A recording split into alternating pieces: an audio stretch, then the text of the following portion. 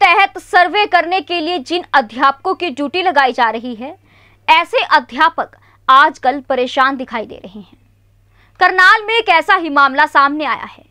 आपको बता दें कि जब एक महिला टीचर सर्वे करने के लिए एरिया में गई तो वहाँ पर बीपीएल कार्ड धारकों की खामियाँ उजागर किए जाने पर महिला अध्यापक के पति के साथ मारपीट हुई।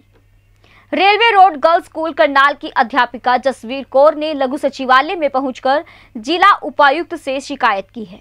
इस दौरान उन्होंने कहा कि हांसी रोड बरम नगर में जब वह सर्वे करने जा रही थी तो उनके साथ उनके पति भी थे, जिन पर दो अज्ञात नकाबपोश युवकों द्वारा हमला किया गया, जिसकी पुलिस में शिकायत भी की गई है, परंतु अभी तक कोई भी कार्यवाही नहीं हुई है।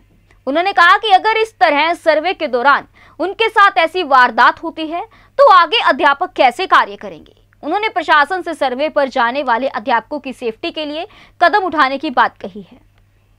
देखिए एक विशेष रिपोर्ट। लड़कों ने मेरे पे जो है हमला कर दिया है इसी मामले में, क्योंकि कुछ लोगों को प्रॉब्लम्स हो रही थी, क्योंकि उनके घर बने अच्छे खासे आर्थिक सहायता उनको है, गाड़ियाँ खड़ी हैं तो उन लोगों को ये था कि कहीं हमारे बीपीएल के जो हैं ये काटे ना जाएँ तो इस डर की वजह से जो है उन लोगों ने इन पे हमला किया है। बीपीएल के कार्डों का सर्वे चल रहा था? हाँ जी ये सारा सर्वे था वित्तीय सहायता के लिए तो और किससे मिलोगे आप?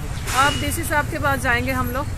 मिलने के लिए बात करेंगे। सर किसी को तो एक्शन नहीं कोई कार्रवाई नहीं हुई सर नहीं कुछ नहीं हुआ। तो अकेले ही सर्वे करने जाते हैं हाँ जी अकेले भेजा था तो मैं अपने हस्बैंड को साथ लेके जाती थी। अकेले मैंने कहाँ जाना है? तो जैसे मैं दो तीन दिन पहले जैसे खुद अकेली गई सर्वे करने के लिए तो अभी दो लड़कों ने मेरे पे हमला किया। पुलिस पुलिस को इसकी कंप्लेंट दे दी। हाँ जी सर कल एफ़ आई आर दर्ज हुई है। एफ़ आई आर की कॉपी है ये। तो सभी टीचर अकेले ही जाते हैं? अकेले जा रहे हैं सर। कोई अपनी मर्ज़ी से किसी आशा वर्कर को या आंगनवाड़ी वाली को अगर पता चले कि उस एरिया में है तो कुछ लेके जाते हैं। क्या नहीं नाम सब अकेले। आपका? जसवीर कौर। कहाँ से हो? मैं रेलवे रोड गर्ल्स स्कूल से। तो अब क्या डिमांड करते हैं आप? सर डिमांड यही करेंगे कि टीचर्स को जो है वो प्रोटेक्ट किया जाए। अगर काम पे भेजा जाता है तो उनको कोई आई कार्ड इशू किए जाएँ। हमारे पास ना कोई आई कार्ड थे ना कोई हमारे पास कोई प्रूफ था जिससे हम लोगों को ये दिखा सके कि हम कौन से डिपार्टमेंट से और क्या काम करने आ रहे हैं। कौन से एरिया की घटना है? ये कल हुई सर ये हांसी रोड ब्रह्मनगर। कौन लोग हैं वो?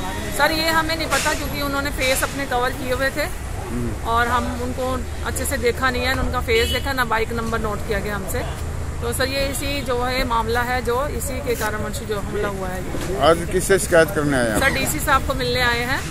क्योंकि कल की घटना हो चुकी है उन्होंने भी देखा होगा सब कुछ फेसबुक के इलाके या जो भी न्यूज़ आई है लेकिन अभी तक उनका कोई जो है व्यूज़ उनके नहीं आए हैं इस मामले में। थैंक यू ऐसे ही लेटेस्ट खबरें पाने के लिए बेल आइकन को क्लिक कर हमारे चैनल को लाइक शेयर एंड सब्सक्राइब करें। धन्यवाद। Incredible marriage palace Rajgharana and the finest banquet hall Jyoti Garden. World class catering, centrally air conditioned, lush green lawns, state of the art lighting. A perfect venue for wedding, launching and parties. Rajgharana and Jyoti Garden at JBD Banquets Enterprise.